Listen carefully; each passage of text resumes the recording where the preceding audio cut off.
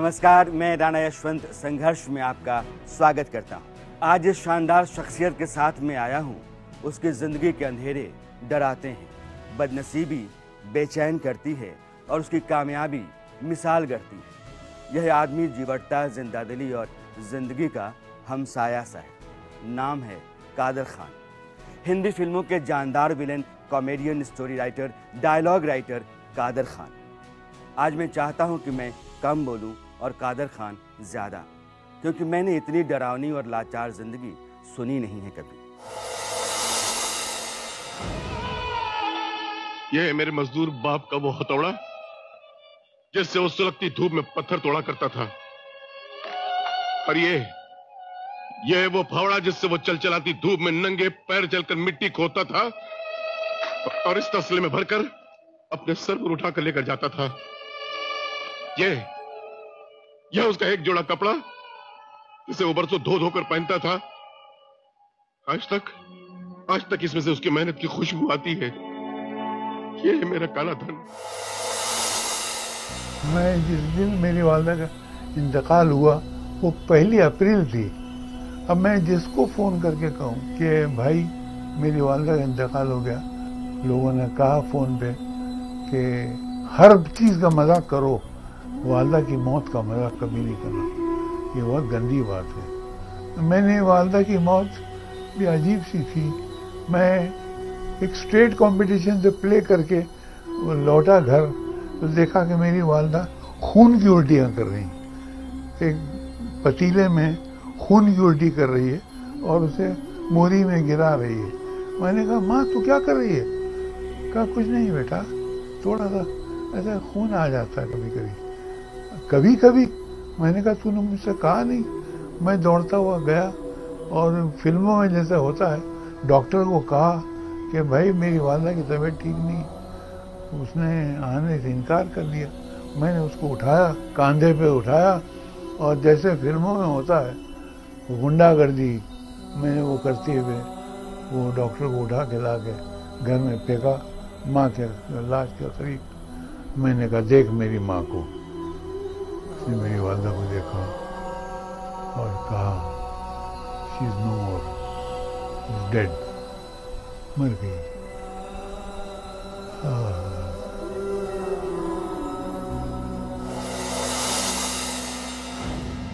यह आदमी ज़िंदगी भर अपनी माँ को तलाशता रहा है। उसकी माँ ने पहाड़ जैसे सितम उठाए और औलाद के लिए जलालतों के जहर पिए। कादर खान के माँ बाप अफ़गानिस्तान में रहते थे। काबुल से थोड़ी दूर। उनके तीन बेटे आठ साल के होकर मर गए। फिर जब चौथा हुआ तो माँ ने अपने शौहर से कहा, यहाँ की आबो हवा ठीक नहीं है, कहीं और चलो। माँ बाप अफ़गानिस्तान से हिंदुस्तान और हिंदुस्तान में आखिरकार मुंबई आ गए। ये चौथा बच्चा कादर खान थे। बम्बई, जो सबसे गंदा स्लम है। वहाँ आके ठहरे उस स्लम में शराब, जुआ कैबा खाना, जितने भी खाने थे, सब थे वहाँ पर। और वहाँ पर कत्ल होता था सुबह शाम, और हम वहाँ पर रहते रहे। मेरे वालिद वहाँ के मुंबई के अखराज बर्दाश्त नहीं कर सकते थे। तो मेरी वालदा में और मेरे वालिद में नोक झोंक होने एक वक्त ऐसा आया कि दोनों में निभ नहीं सकी और दोनों में तलाक हो गया। अरे साहब, मैं छोटा सा बच्चा, कहाँ इन तलाकों के बीच में पल सकता हूँ? इतने में मेरे नाना आए पाकिस्तान से और मामू भी आए और उन्होंने मेरी वालदा से कहा कि देखो, एक औरत, जवान, पठानी, खूबसूरत, कद्दावर गैर शादीशुदा बनकर यहाँ नहीं रह सकती है। इसलिए तुम बेहतर है कि तुम शादी कर लो। और सर, मैं, मेरी वालदा की फोर्सिबली दूसरी शादी कर दी गई। ये कहते हुए मेरे जबान पे छाले से पड़ रहे हैं। वो वक्त याद करके। कादर खान ने जिन फ़िल्मों के स्क्रीन प्ले लिखे, उनमें उनकी माँ बार बार ज़िंदा होती है। माँ का दर्द, उसकी घुटन और उसका जहन्नुम महसूस होता है। माँ माँ। माँ मैं राजू बोल रहा हूँ माँ। तुम्हारा राजू। जानती हूँ बेटा? मुझे तुम्हारी बहुत याद आती है माँ। तुम भगवान से छुट्टी लेके मेरे पास आ जाओ माँ। तुम आ जाओ। कादर खान के पिता ने माँ को तलाक दे दिया। वे मौलवी थे। ननिहाल वालों ने माँ का दूसरा निकाह करा दिया।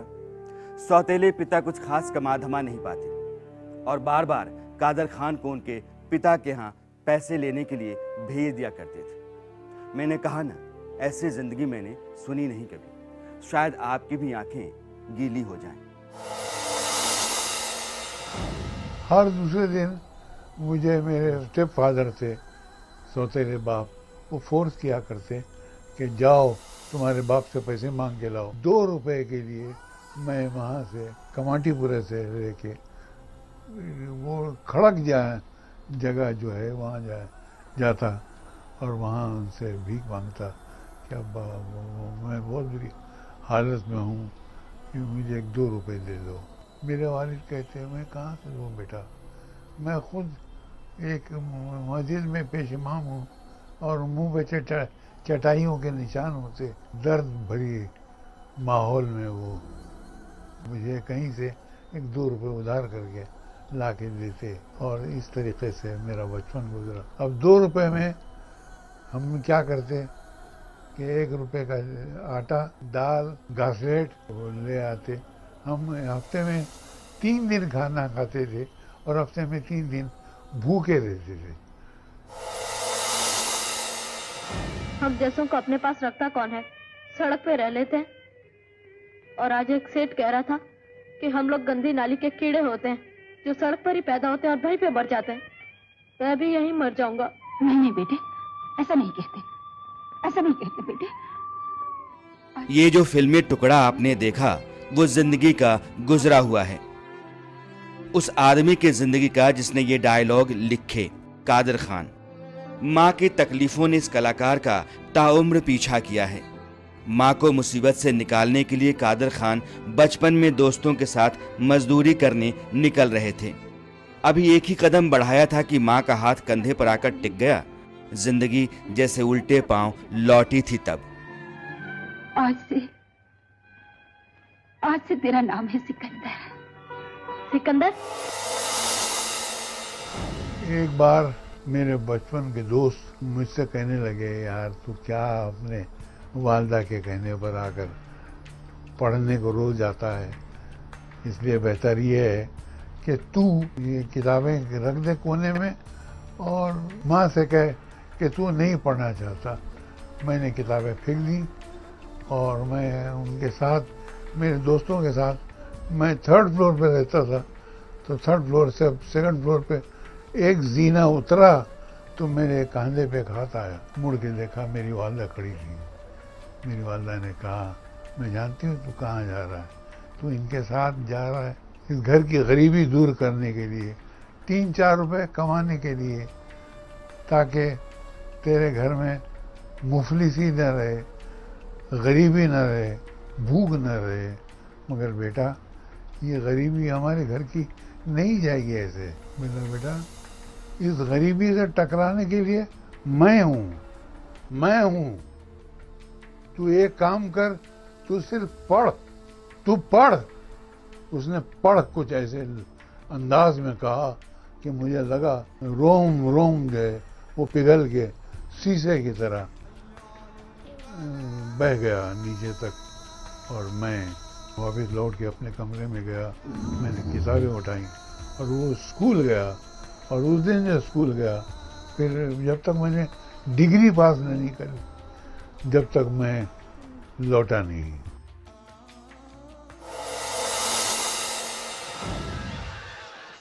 यहाँ से कादर खान की ज़िंदगी बदलने लगी थी। तंगहाली बदहाली के बावजूद उनमें कुछ करने का जज्बा मज़बूत हो रहा था। लिखने और बोलने का शौक बढ़ रहा था। दिन भर जिन लोगों को अच्छा बोलते, लिखते, देखते, उनकी नकल घर के पास के एक इजरायली कब्रिस्तान में जाकर करते।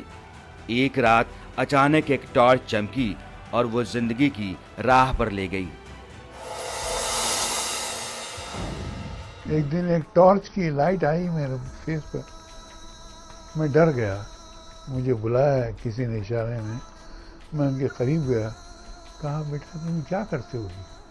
मैंने कहा ऐसे मैं किसी के, जो को कोई अच्छी बात बोलता है या अच्छा कुछ लिखता है, मैं उसकी नकल करता हूँ। बोले, ड्रामे में काम करोगे? मैंने कहा, ड्रामा क्या होता है? कहा कि मैं तुम्हें बताता हूँ। अपने साथियों से कहा, कल इससे चार बजे मेरे बंगले पे ले आओ। सुपर टाकीज के सामने, अंदर गली में एक बंगला था और उसमें मुझे बुलाया गया। मुझे पढ़ने को कहा। मैंने पढ़ा, फिर पढ़ा। और पढ़ते गया मैं। और मुझसे कहा कि तुमने कितने ड्रामों में काम किया मैंने कहा, मैंने एक भी नहीं काम किया। सर, मैं पहली बार आपसे तो ड्रामा सुना मैंने। सर, उस ड्रामे में मैंने काम किया। उसका नाम वामक अजरा था। उसमें एक राजा का, रजवाड़े के बेटे का किरदार था। वो मैंने किया और एक साहब जिनके पास सौ सौ के दो नोट थे बड़े मियाँ। वो आए मेरे पास। उन्होंने दो सौ मुझे दिए। कहा ये बेटा ये संभाल के रखना। ये नोट कल बहुत बहुत बहुत ज़्यादा हो जाएँगे। ऐसे कि तुम्हें गिनना मुश्किल हो जाएगा। उन्होंने मुझे दुआएँ दी। मेरे सर पे हाथ फेरा और उसके बाद वो, वो फिर नज़र नहीं आया वो। ज़िंदगी में कुछ लोग आते हैं, वो कुछ ऐसा कर जाते हैं जिसका ताउम्र ज़िंदगी पर असर रहता है। वो याद तभी आते हैं जब हम गुजरे वक्त को निहारने लगते हैं। खैर, कादर खान इत्तफाकन ही सही, लेकिन स्टेज से जुड़ गए, नाटक लिखने लगे, एक्टिंग करने लगे, और एक दिन उनका नाटक देखने तब के सुपरस्टार दिलीप कुमार आ गए। ज़िंदगी दूसरा इत्तफाक लिए बैठी थी। क्या कहा? मेरे खून से गली कूचों को सुर्ख कर दिया जाएगा। क्या इश्क का खून किसी साहूकार के पान की पिचकारी है? क्या तुम्हारी ज़िंदगी ज़िंदगी हमारी ज़िंदगी बीमारी है? तुम्हारा खून खून हमारा खून पानी है। तुम्हारा नाम नाम हमारा नाम गाली है? तुम करो जुल्म तो वो सरकारी है और हम करें फरियाद तो वो गद्दारी है। मेरा ड्रामा था उन दिनों में। वो बहुत मशहूर था ताश के पत्ते।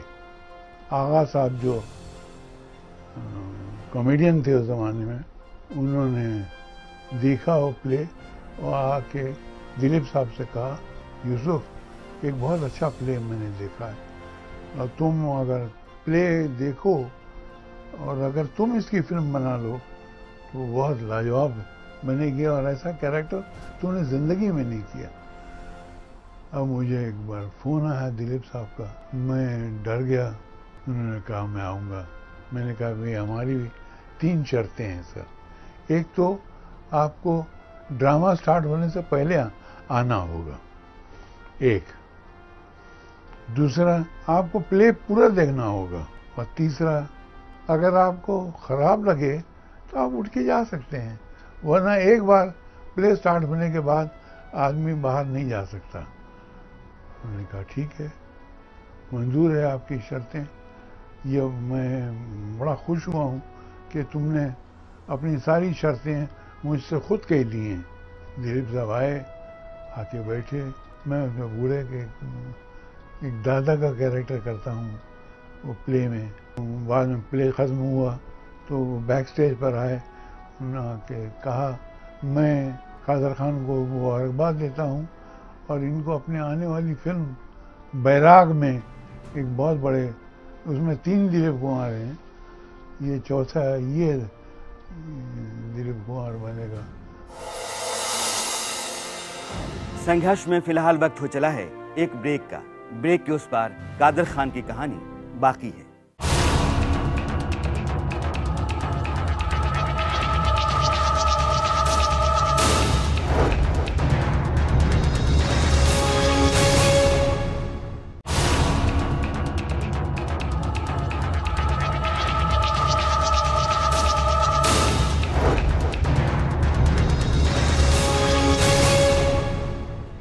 ब्रेक के बाद संघर्ष में आपका एक बार फिर से स्वागत है। जानते हैं, जीवन के जब सारे रास्ते बंद दिखते हैं, तब भी कोई न कोई रास्ता इंतज़ार कर रहा होता है। कोशिश करते रहना चाहिए। ऐसी ही कोशिशों के बीच कुछ इत्तेफाक, कुछ हालात और कुछ वाकयात बैठे रहते हैं। जब हम उन तक पहुँचते हैं, वे हमारी उंगली पकड़ हमें आगे लेकर बढ़ जाते हैं। कादर खान की ज़िंदगी का पैगाम यही है। कब्रगाह में अशरफ खान का मिलना थिएटर में दिलीप कुमार का मिलना और ऐसे ही एक इत्तेफाक से अमिताभ बच्चन का कादर खान के लिए खड़ा होना। बस इसलिए था कि एक आदमी अपने हुनर को लेकर लगातार कोशिशें कर रहा था। क्या बात है भाई क्या बात है? इन पेटियों में क्या है? दवाई है हुजूर? दवाई? हाँ। खोलो। अरे अरे अरे ठहर जाओ। मालिक से पूछे बगैर हम तो कैसे पेटी खोले देंगे? देखो फजल की जिद मत करो हमें कानूनी कार्रवाई करने दो। जब मेरी पहली फ़िल्म थी अदालत अमिताभ बच्चन और का डबल रोल था उसमें एक इंस्पेक्टर खान था जो मैंने किया। वो चाहते थे कि कोई हीरो उस रोल को करे। अमिताभ ने दिलवाया कहा ये is a very good actor क्योंकि अमिताभ मुझे फ़िल्म प्लेज में देख चुका था। उसके बाद प्रकाश मेहरा की दूसरी फ़िल्म स्टार्ट हुई, खून पसीना। अब खून पसीना में मैं विलन था। एक हफ़्ते के गैप में वो फ़िल्में रिलीज़ हुई। तो लोगों ने कहा कि यार इंस्पेक्टर खान तो कोई भी कर लेगा, किसी से भी करा लेंगे। लेकिन फ़िल्मों में विलन की बहुत कमी है। इसलिए कादर खान को विलन का काम करने दो। और वहाँ से मैं विलन बन गया। और मैं विलन बना तो यह था कि जो फ़िल्म मैं लिखता, उसमें मैं, मुझे विलन का रोल दिया जाता। और विलन करता गया करता गया करता गया। कादर खान विलेन तो बन गए, नाम भी कमा लिया। लेकिन वो बार बार इस कोशिश में रहे कि उनको विलेन कीमत से छुट्टी मिले। जानते हैं क्यों? कादर खान से ही सुनिए।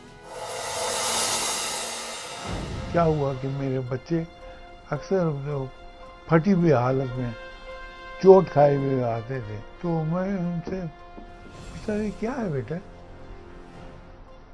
कहते थे कि अब्बा हमारी झड़प हो गई आज। तो लड़के बोले कि, तेरा बाप तो पूरी पिक्चर में विलन को मारता है, लेकिन एंड में तो खुद पीटता है और इतना पीटता है कि हालत बिगड़ जाती है।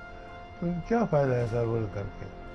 तो मेरे बच्चों की, वो उनसे बर्दाश्त नहीं होता था। मैंने मालिक से बोला कि, मालिक, मुझे इस विलन के दौर से निकाल।